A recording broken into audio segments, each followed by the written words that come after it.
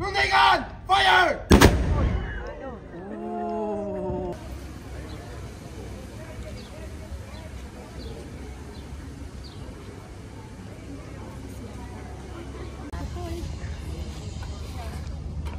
Deploy. I'm going to show you how to do the cannon now. Noises. Right. Just give me one second. Um, fantastic. Is everything ready? Yes. Good, good, good. So, gun demonstration, you can approach, we start explanation.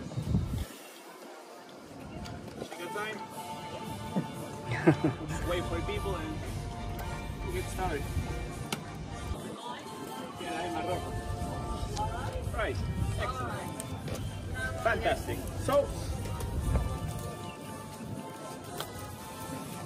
Good morning, ladies and gentlemen. Thank you so much for coming today with us. We're here on behalf of the Malta's Royal Artillery Regiment.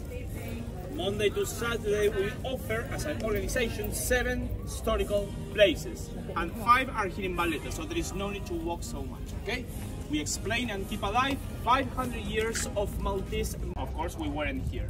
Mhm. Right. Back in the day, the public time used to be announced or on March 2011. Today, for safety, we need to fire new guns. Okay, we cannot fire the other guns from Victorian times. Mhm. Excellent. So let's speak about the model. So built in 2011, made of iron, two tons each cannon. The name of the gun, because every gun has a name, is the 32 pounds smoothbore breech loader cannon. I know it's a very useful knowledge you can take home. The first part of the name is a number, 32 pounds, which equals 14 and a half kilograms. This is the weight of the cannonball that you can see behind you. You want of course, to pick them up. No cannonball is fired from the platform for arbitrary. The second part of the name is a smooth bore. I'm going to pocket the gun for you. If you take a look inside, you will see that the guns have no pattern. There is no rifle inside. So they are not precise. They are not accurate guns.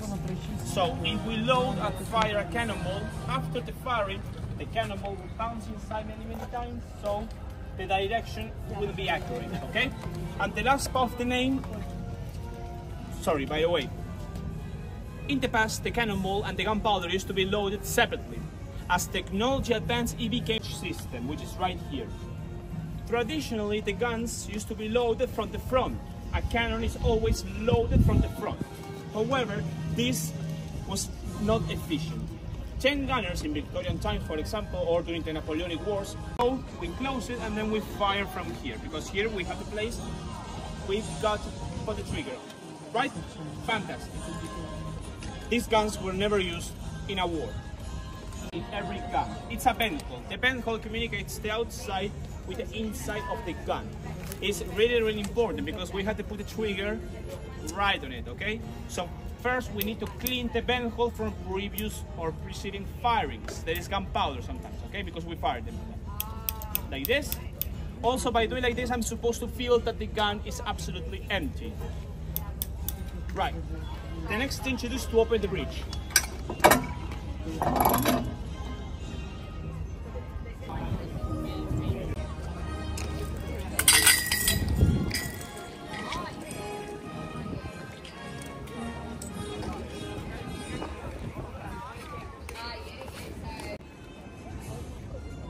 This is Baleta. Kung saan ako nakatayo.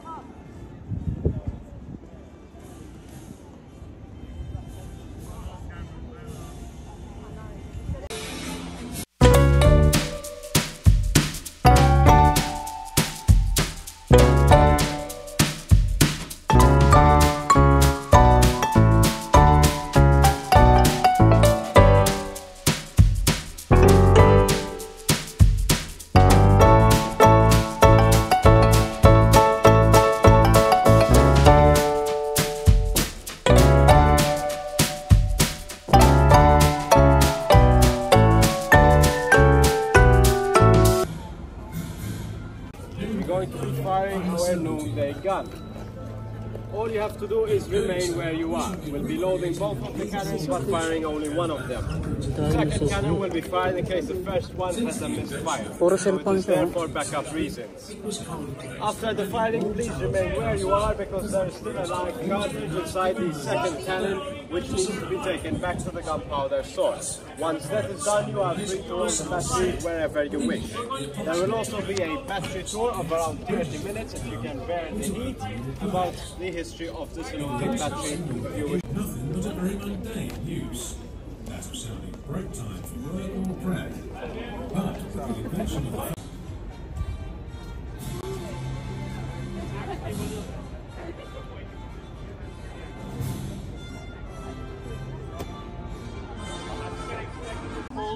cartridge. This one has to receive the spark.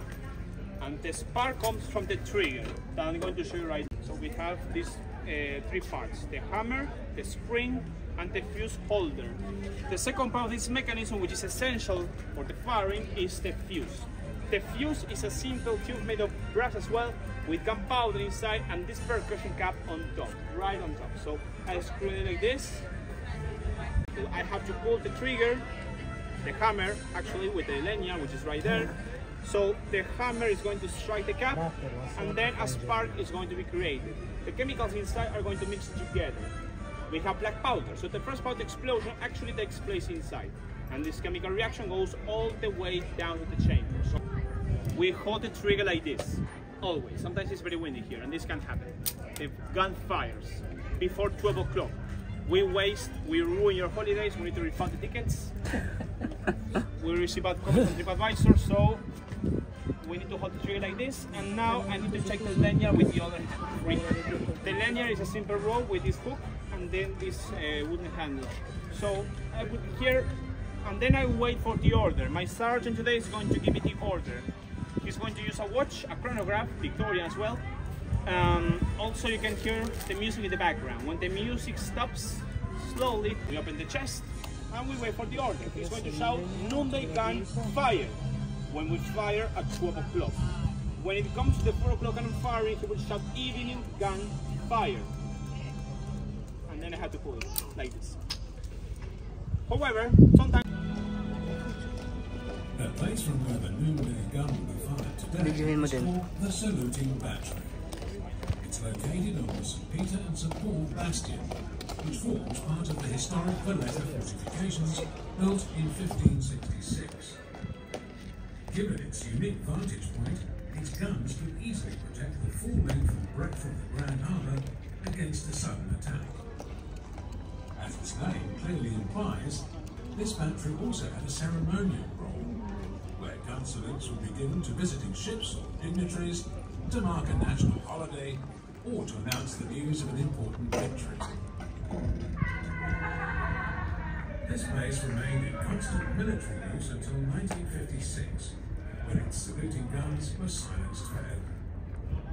After that time, its history gradually faded away, till 2004, when the battery was restored back to its former glory by Fondazzjoni Wirt Artna, the Malta Heritage Trust, with the assistance of the Malta Tourism Authority and the Bank of Valletta. Since then, its guns have unfailingly heralded the passage of midday on a daily basis, as you will witness today. Please note that immediately after the firing of the new gun, you can visit this battery and see its fantastic collection of historic cannon spanning two centuries. Entrance is via the steps in the back of the balcony or the side entrance in Battery Street.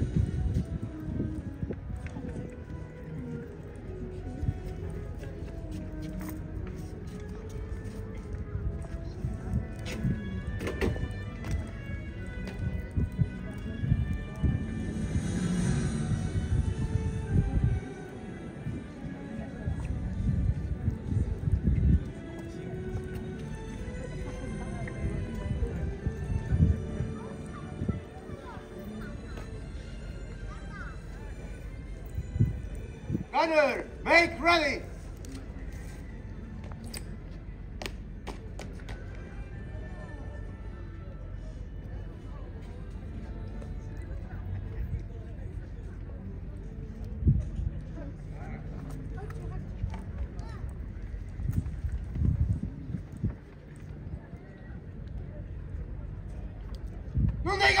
Fire!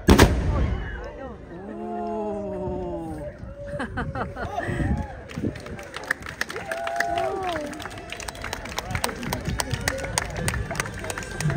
ladies and gentlemen, I hope the cannon was loud enough for you. Sorry about the smoke over that side. Can we have a big round of applause, please, for our gunner today, Stefano?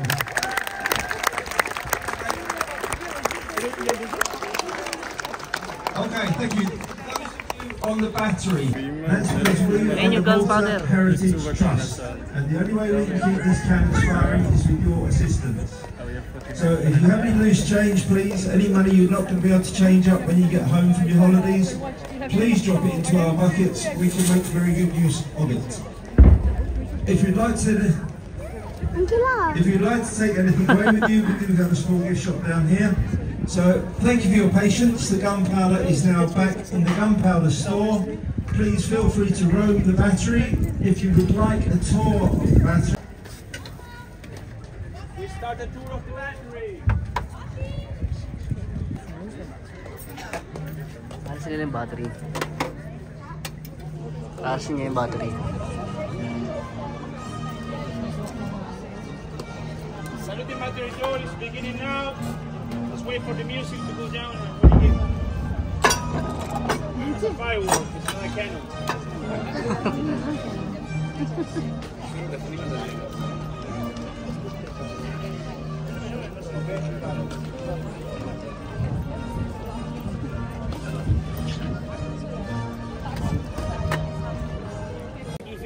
you take a look at the surroundings here, you you will see some small fortresses and defense lines right there, or for example there.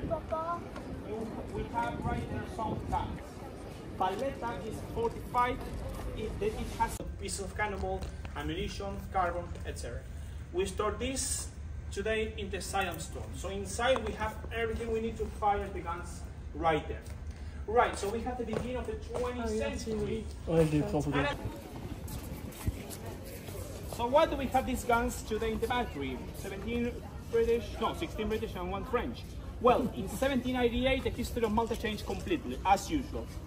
The French hmm. Empire, the superpower of the world. They came here and they took the control of the islands in three weeks. Starts from here. So we get the gunpowder from the room and then we go and we march to the guns. We load two, we fire one. So let's... The shade, finally. Right.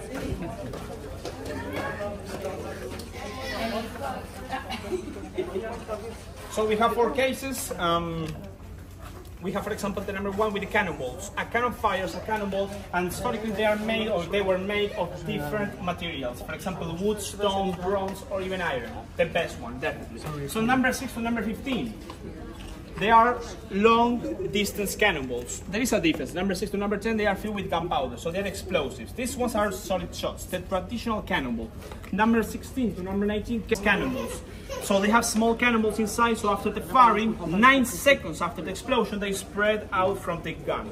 And they are short distance because they are stopped in the air, okay, by air resistance and also the gravity. Sounds very geek and nerd, you know. Number one to number five, chain shots. They were used specifically different armies, different regiments around the world, okay, used to fire these ones, to stop the ships. And they used to go and take them. The price of war once again. Because obviously a ship used to be very expensive. It was very simple. You fire against the main sail, you slow the speed, and then you go and you take the ship. Obviously this doesn't happen anymore. Okay, so let's continue. We have a small step here. Watch your steps. We go to the next case. One or two? Okay. So, one hour. So this is how they didn't get lost thanks to the battle. Okay, so let's go to the last case. The front. This is the previous method. There is no bridge.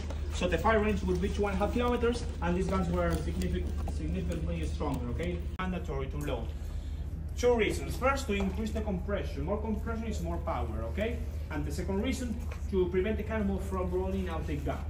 Number firing, you have to refill the trigger with gunpowder. So we have the horns right here. So also the guns had a bigger version of this um, first trigger, we can say. And number one to number five, the side arms. For example, when we wish, uh, we sorry, when we wash the guns, we need to use number three and number five. So with the brushes, we can remove any remaining, okay, gunpowder. And finally, the Cold War and the Maltese participation is very important in this conflict. So let's go with the first one. 1914 is the beginning of the First World War. Right, Malta didn't fight. We played a different role. Malta worked as a huge hospital to assist soldiers, wounded soldiers. So you used to come from all over the continent.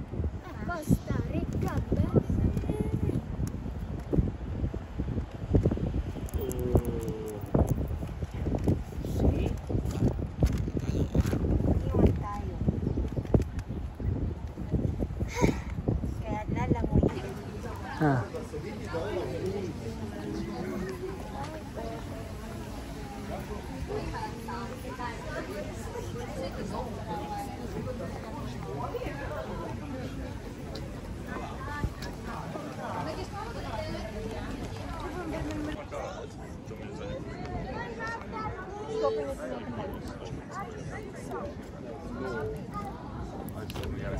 you.